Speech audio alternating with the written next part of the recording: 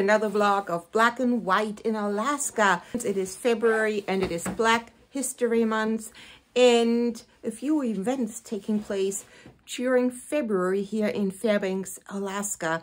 And to one of them, we are taking you with us and uh, yeah, we are going to the museum and to an exhibit that's called Black in Alaska. It's a multimedia project and uh, we will tell you a little bit more about this in a bit.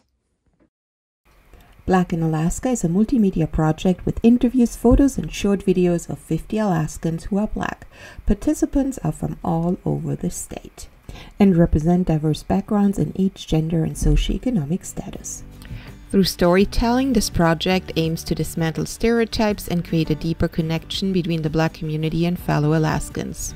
Stories, photos, and other media can be found on the Black in Alaska website, blackinalaska.org, and are also shared on Facebook and Instagram.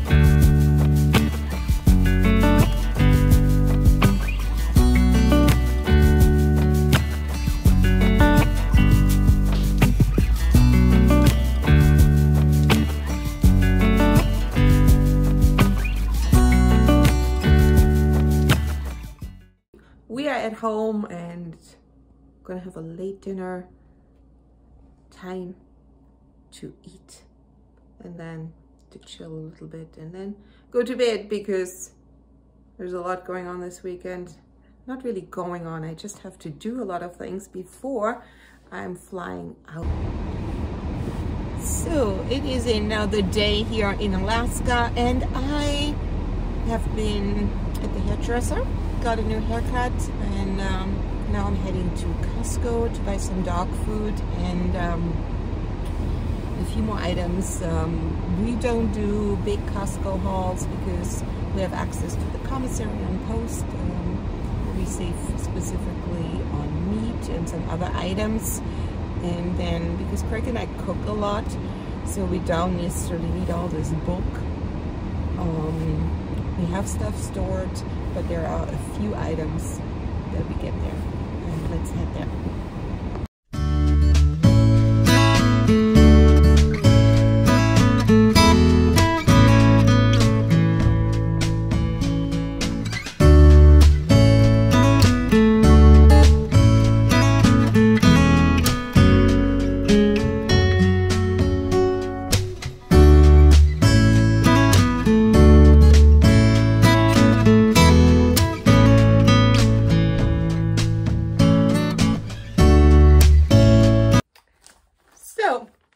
Done. We have four people in one Uber, ideally. And um, so nobody, we cannot just come with huge suitcases because then we will have a problem. And uh, yeah, I think we travel with more than one person. I think we really need to be mindful of that and keep costs down.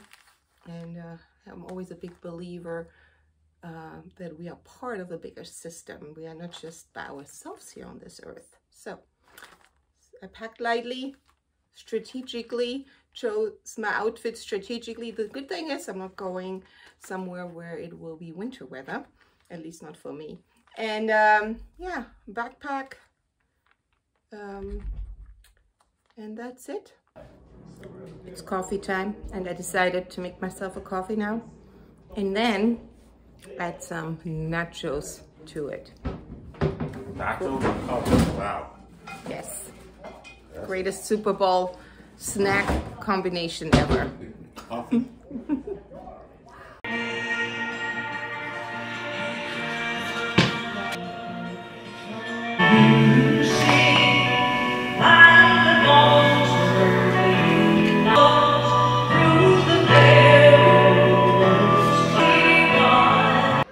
see the spread's kind of small this year because of one, I didn't want to cook. Alex is leaving tomorrow, so that's a lot of work to fry all this stuff. So I just went and bought everything except these are my homemade dips.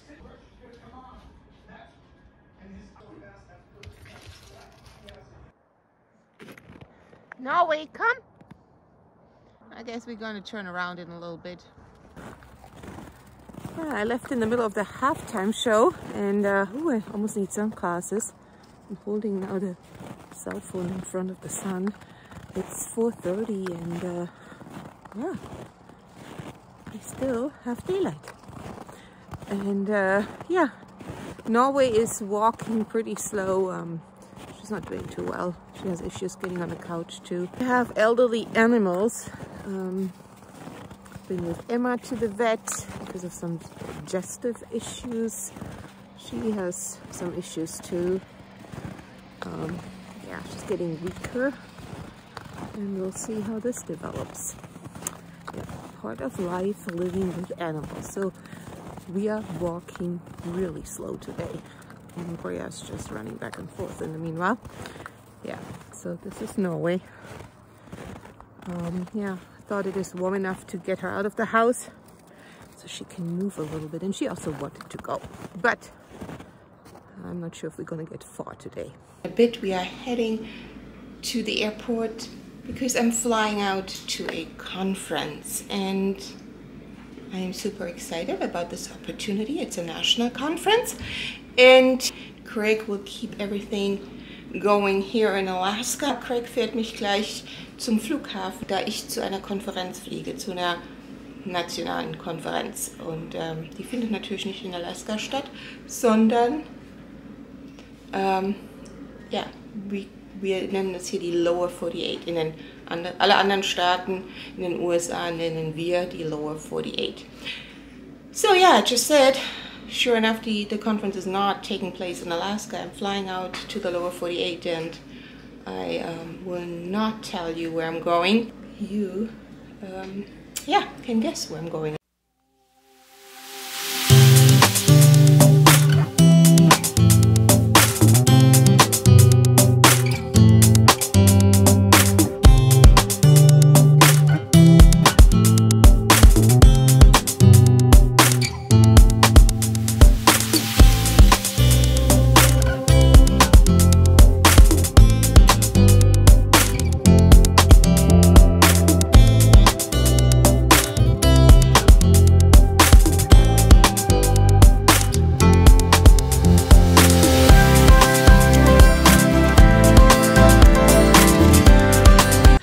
Been a long travel.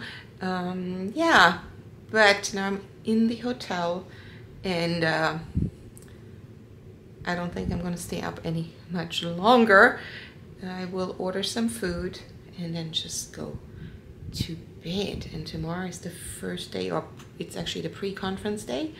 And then I will hopefully have some time at a certain point. I don't know when. The schedule looks pretty tight to explore a little bit the city. And yeah, but for right now, it's bedtime. All right, it's dinner for two tonight. Being that Alex is uh, in New Orleans for the uh, conference, another conference, yeah. And uh, the oldest is at the EMT correction, the EMT Academy down in Anchorage, getting ready to start their career. Good thing, happy, proud of. Now, me and the youngest are gonna sit down for dinner and uh, celebrating the fact that Alex had a chance to go to New Orleans. We're gonna do some shrimp po' boys tonight.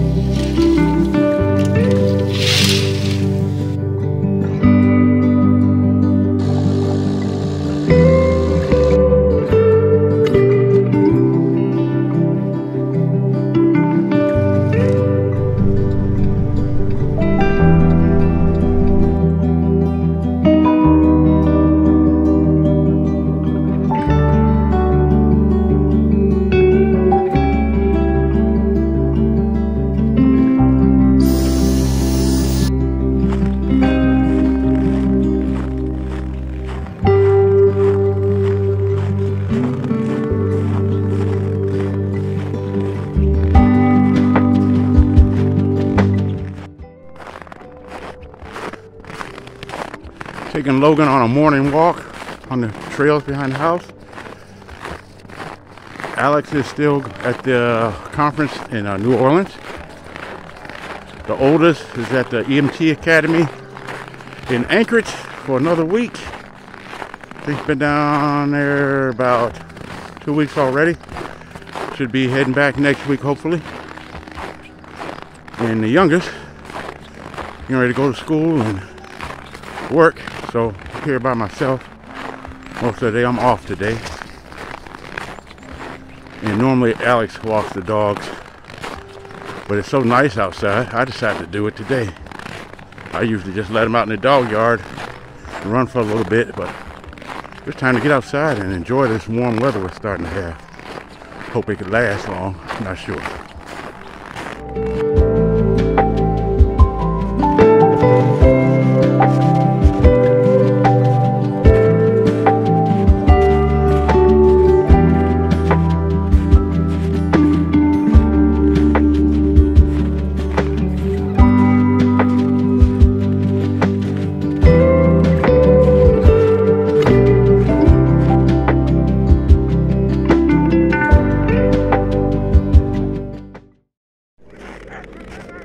Such a nice day. I couldn't hold back. I had to get out here. I'm, now I'm walking on the Chena River. It's totally frozen over. A lot of people out today walking on the river. It's a gorgeous sight out here. It really is. And somebody's out here with a sled dog team. I guess they're going to take a ride on the uh, river. So, show you around. Can't beat Alaska on this scenery. You cannot.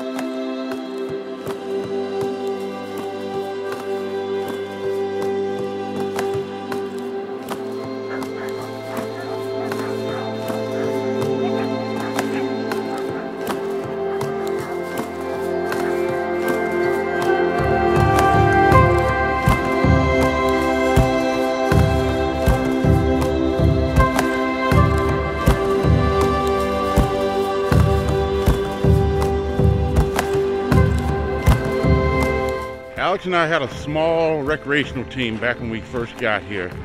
And over time, the kids got old, said they didn't want to do it anymore, and I asked why. And they said they got to clean up too much dog poop. So that led us to think uh, reduce the number in the dogs and just keep some as pets. And uh, but that was our life back then. It was it was nice, but it was quite busy with your you know regular work schedule. Me being in the military, Alex doing her thing for school district, didn't have to feed, run the dogs. It was, enjoyable. I can tell you that. You're on the back of one of those sleds going through Alaska and the trails. It's just a beautiful thing. But uh, Alex can show you some of the video from that time period.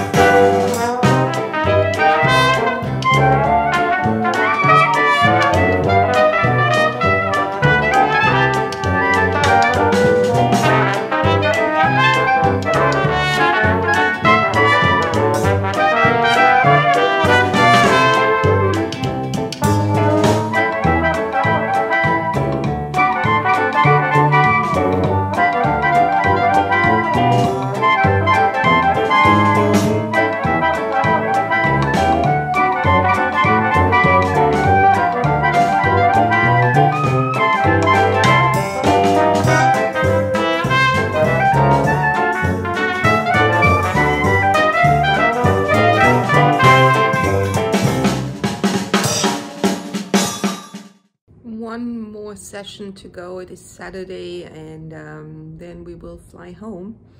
Um, it's going to be again a long flight. We're not going to arrive till 2 o'clock in the morning hours in Alaska. And uh, yeah, one more session to go. Packing and then probably going to have time maybe for a little lunch and then we're going to head to the airport.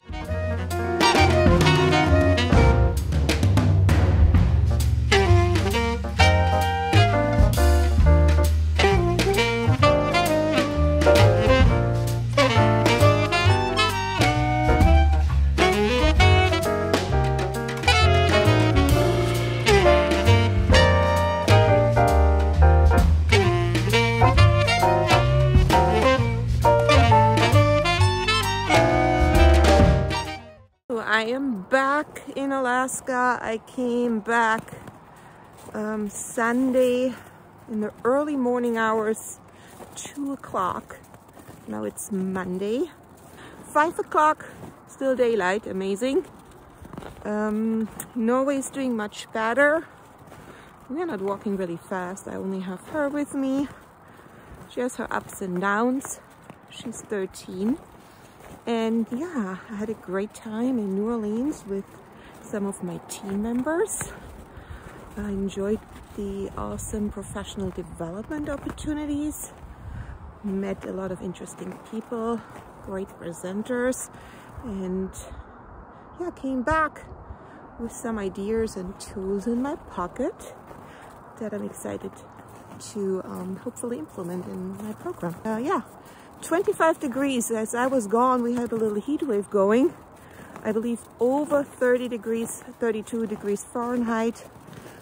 Not exactly sure how far up the temperatures went. The trees are bare, no snow or barely no snow on the trees anymore, but that doesn't mean it lasts. But We still can get some colder days. Um, spring is definitely not here. Would, yeah, usually it doesn't last. Little did I know that this would be our last walk. In the following days, Norway's health declined and she crossed the Rainbow Bridge on March 9th, in loving memory of one of the most serious, stubborn, but loyal dogs.